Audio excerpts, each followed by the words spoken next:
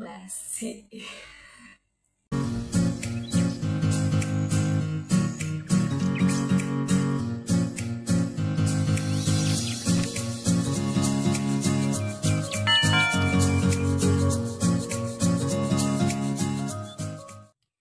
assalamualaikum guys. Balik lagi di channel youtube aku Henizi. Jadi di video kali ini aku mau berbagi tips lagi ke teman-teman semuanya. Gimana cara aku ngilangin mata panda aku yang kemarin itu amat sangat parah dan sekarang udah mulai berkurang. Jadi di cara yang aku akan share ini itu akan e, ngebantu ngehilangin tiga masalah sekaligus untuk di bawah mata yaitu dark circle, terus kantong mata, juga e, kerutan di bawah mata. Oke, nggak usah lama-lama, kita langsung aja ke cara bikinnya. Tapi sebelumnya, seperti biasa, like dulu video ini, subscribe dulu bagi yang belum subscribe, terus tekan juga loncengnya supaya kamu tahu ada video baru dari aku. Terus kalau kamu punya Instagram, kamu boleh follow aku di sini. Baik, jadi bahan-bahan yang aku pakai untuk bikin masker mata itu adalah itu ada tiga macam. Yang pertama ini ada um, timun, terus uh, aloe vera gel. Yang ini bebas mau pakai brand apa aja. Kebetulan aku punyanya ini dan aku emang suka pakai yang Natura Republic ini. Tapi kalau kalian punya brand lain itu terserah sama aja fungsinya, manfaatnya. Terus yang ketiga adalah vitamin E. Vitamin E-nya ini juga bebas mau brand apa aja dan kebetulan eh balik sorry aku pakai Ever E 250 jadi ini aku pakai satu ini aja satu biji di dalamnya. Oke langsung aja ya. E, pertama untuk si timunnya ini oh ya alatnya jangan lupa ini ada parutan keju dan sebuah tempat kayak mangkok atau apa pun yang bisa dipakai buat ngecampurin semua bahannya. Oke langsung aja kita potong timunnya. Jadi biasanya aku bikin itu langsung banyak satu timun ini semuanya aku bikin. Jadi nanti uh, jadinya kan banyak tuh. Nah setelah itu langsung dimasukin ke dalam kulkas aja dan itu tahan sampai satu minggu. Jadi kalau kita bisa tiap hari makainya itu nggak perlu bikin-bikin lagi langsung ditempelin aja.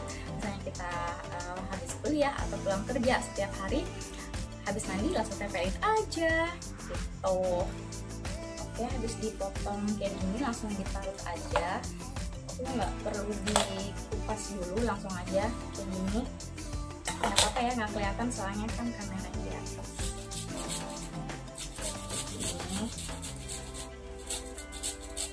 Hati-hati dia suka nyiprat ini dia akan keluar airnya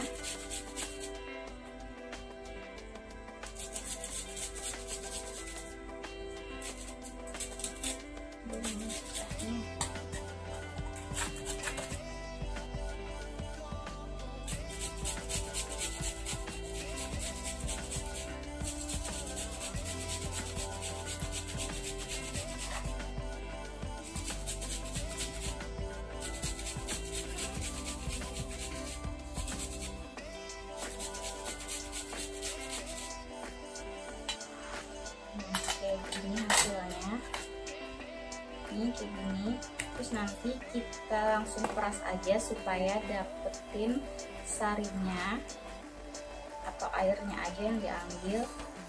Terus ampasnya dibuang.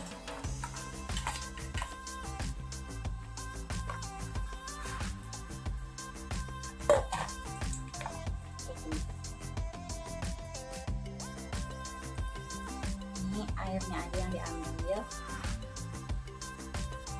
ini aku bikinnya sedikit aja ya soalnya nanti kalau semuanya kelamaan aku bikin contohnya aja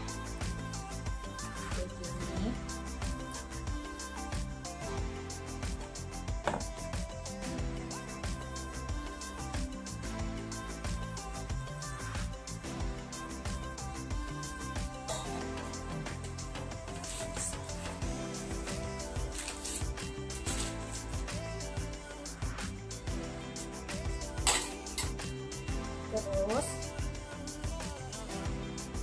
tambahkan aloe vera gel tadi satu sendok aja.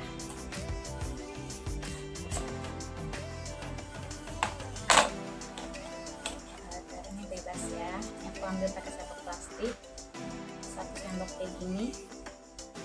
Langsung dicampurin ke sini. Diaduk-aduk sama terakhir dikasih vitamin E. Yang bagus banget untuk kesehatan kulit. Ini penting. Ujungnya oh. terus langsung dimasukin. Nih. Kayak gini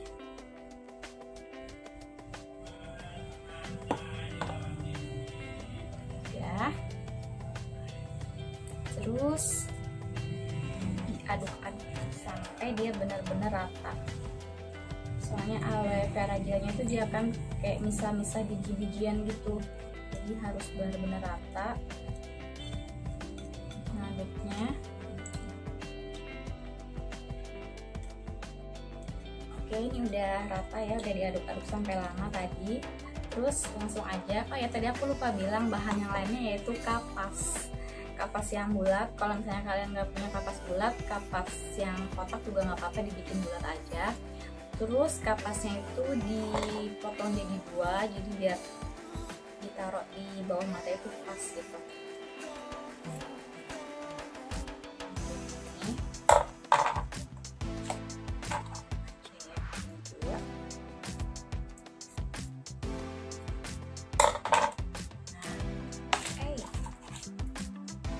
langsung aja dimasukin ke dalam uh, campuran bahan-bahan tadi. Nah ini kalau mau bikin banyak sekalian langsung aja banyak-banyak kapasnya dimasukin ke dalam sini. Kira-kira cukup sampai satu minggu. Tapi harus benar-benar terendam semuanya sama uh, campuran bahan-bahannya ini tadi yang ini. Nah sini baru dimasukin ke kulkas.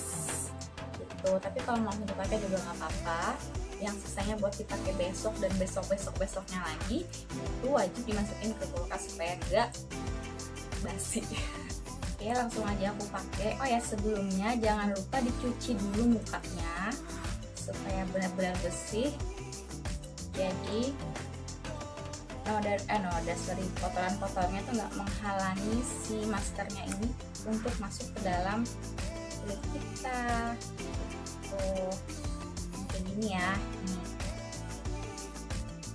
terus aja supaya nggak terlalu cair dan mengalir-ngalir gitu di bawah mata. Langsung aja ditempelin gitu di bawah mata kayak gini. Nah ini kalau udah e, maksudnya kalau baru dari kulkas itu seger banget dan adem banget rasanya. Tapi karena ini langsung dipakai jadi nggak terlalu adem dan nyes gitu. Nah ini aja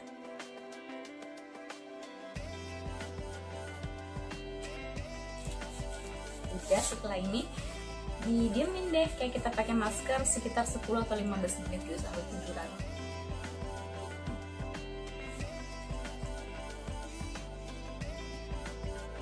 Oke aku mau diemin dulu selama 10 menit nanti aku akan balik oke ini udah 10 menit jadi bisa langsung dibuang aja um, masker matanya ini. Langsung aku buang ya udah nah habis kalian pakai tuh pasti tuh rasanya kayak seger banget dan matanya tuh langsung kayak apa ya kayak seger cerah gitu loh. Nah ini tips dari aku.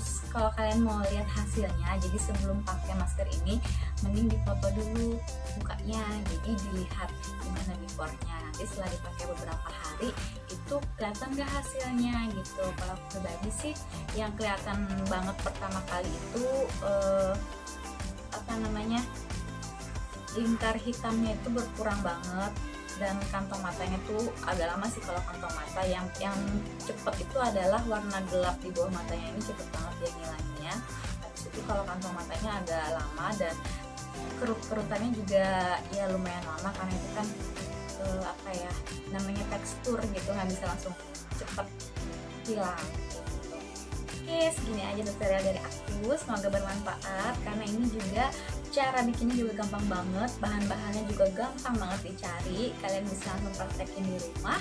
Semoga berhasil dan see you on my next video.